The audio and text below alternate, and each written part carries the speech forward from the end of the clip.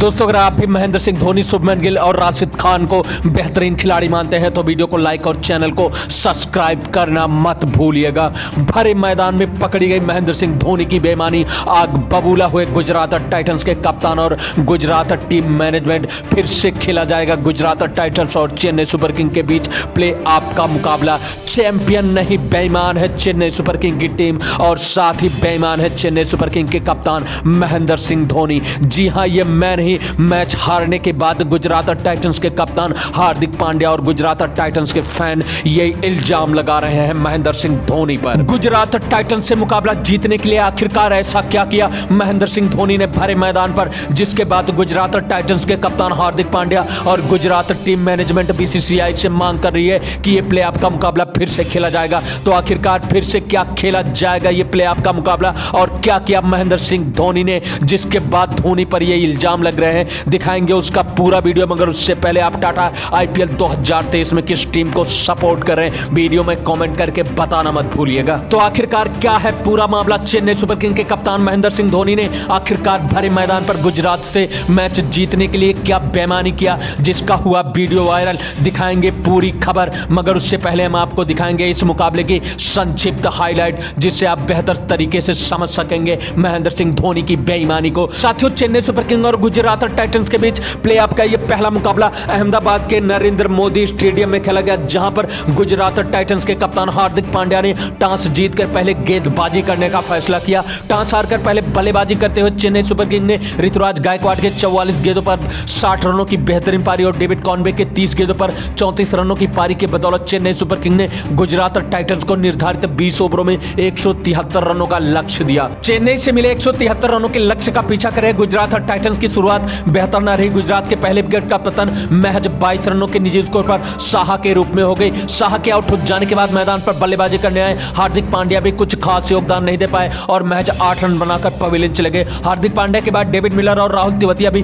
Gujarat Titans की तरफ़ से दहाई का आंकड़ा नहीं छुपाए तो वहीं एक तरफ़ जहाँ लगातार विकेट गिर रहे थे तो वहीं दूसरे छोर पर संघर्ष कर रहे सुमन गिल भी आखिरकार बयालीस रन बनाकर आउट होकर पवेलियन चले गए। उस दौरान गुजरात टाइटंस की तरफ़ से बल्लेबाजी करने आए। हरफन मौला खिलाड़ी राशिद खान राशिद खान जब बल्लेबाजी करने आए, उस समय गुजरात और टाइटंस का स्कोर था छियानवे रनों पर छह विकेट। राशिद खान ने मैदान पर आने के बाद विजय शंकर के साथ मिलकर ताबड़तोड़ बल्लेबाजी करते हुए, जहाँ मुकाबला एक तरफा चेन्नई सुपर किंग के खेमे में जा रहा था, उसे रोमांचक बना दिया। गुजरात और टाइटंस की तरफ़ से टर्निंग पॉइंट पारी का सत्रह ओवर रहा, जिसे लेकर चेन्नई सुपर किंग की तरफ़ से तुषार देश पांडे आए थे। तुषार देश पांडे के इस ओवर में राशिद खान ने दो गगन चुंबित छक्के और एक चौका लगाकर कुल बीस रन ठोक मुकाबला गुजरात टाइटंस के पक्ष में लाकर खड़ा कर दिया। दरअसल ये घटना उसी दौरान की है, जब 16 गेंदों पर जीत के लिए चाहिए थे गुजरात और टाइटंस को 36 रन और सामने थे राशिद खान, विजय शंकर। दोनों बल्लेबाज काफ़ी खतरनाक अंदाज में दिख रहे थे। राशिद खान और विजय शंकर 16 गेंदों पर 36 रन बड़े आराम से बना सकते थे।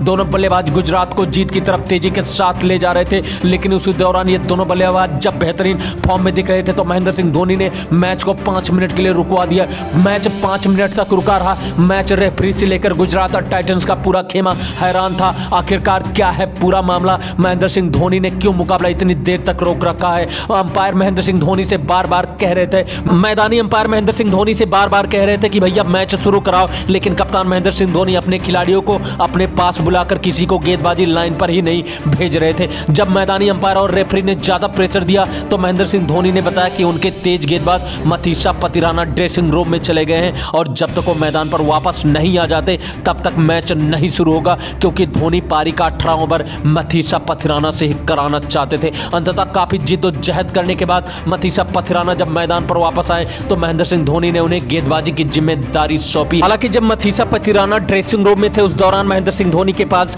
कई ऑप्शन थे गेंदबाजी के, लेकिन महेंद्र सिंह धोनी का प्लान था गुजरात और टाइटंस के बल्लेबाज राशिद खान और विजय शंकर, जो खतरनाक अंदाज में बल्लेबाजी करके बेहतरीन लय में दिख रहे थे। उन्हें लय से बाहर करना और हुआ यही जो महेंद्र सिंह धोनी चाहते थे। पाँच मिनट तक मैच बंद रहा और मैच जब पुनः शुरू हुआ तो गेंदबाजी करने आए मथीसा पतिराना। पतिराना ने इस ओवर में विजय शंकर और विजय शंकर के स्थान पर बल्लेबाजी करने आए। नूर अहमद दोनों बल्लेबाजों को आउट करके पवेलियन का रास्ता दिखाया और अगले ओवर में पंद्रह गेंदों पर तीस रन बनाकर खतरनाक अंदाज में बल्लेबाजी कर रहे राशिद खान भी आउट होकर पवेलियन चले गए। महेंद्र सिंह धोनी को जानबूझकर मैच को पाँच मिनट तक रोक कर रखना और गुजरात के बल्लेबाजों को आउट ऑफ़ फॉर्म में करना यह बात गुजरात टाइटंस के कप्तान हार्दिक पांड्या और गुजरात टीम मैनेजमेंट बर्दाश्त बर्दाश्त नहीं कर पा रही और मैच खत्म होने के बाद काफ़ी बखेड़ा शुरू हुआ। साथियों, आपको क्या लगता है, पाँच मिनट मैच रुकवा कर महेंद्र सिंह धोनी ने गुजरात टाइटंस के खतरनाक बल्लेबाज राशिद खान और विजय शंकर को लय से बाहर करने में अहम भूमिका निभाई, क्योंकि आमतौर पर टी मुकाबले में किसी भी गेंदबाज के ड्रेसिंग रूम में चले जाने के बाद मैच इतनी देर तक नहीं रुकता।